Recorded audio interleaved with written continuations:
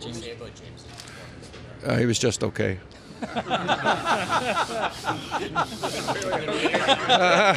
I've been waiting a long time for that. so you guys can package that someplace, okay? You gave me my lead.